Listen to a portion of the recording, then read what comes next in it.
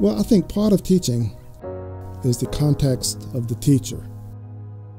What experiences, the point of views the teacher can bring to bear.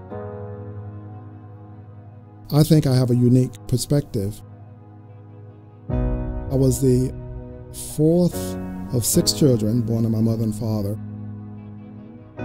We were relatively uh, poor.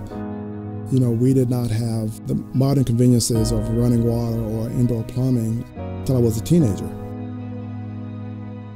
But we always had books. In addition to the World Book encyclopedias, we got a volume of science books, and I would just immerse myself in those science books.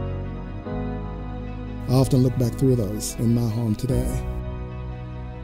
When I went to college, I knew I wanted to major in science, and so the first semester, professor I took for general chemistry, he said that, well, I would suggest you consider uh, majoring in chemistry. And I think of all the things early in my life, that was a turning point, that pivotal moment where I took uh, the road on the right instead of the road on the left. We understand a lot of the chemistry of carbon. We asked ourselves, well, why has it been so difficult to prepare a compound containing a boron-boron double bond when right next door we understand quite well how to prepare molecules with carbon-carbon double bonds.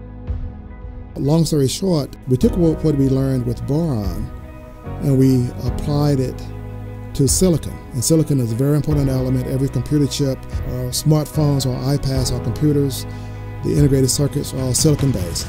And so what's happened now, that's opened up a whole new field in inorganic chemistry. And some of those fundamental discoveries are going to be quite striking. If one drills down far enough, the solution to every grand challenge is going to come down to fundamental chemistry, biology, and physics. Chemistry is often referred to as the central science. Is that one science that one needs if one is going to do other science? You have to have some chemistry.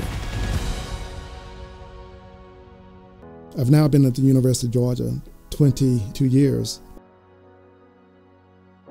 I could not conduct the research that we do anywhere else.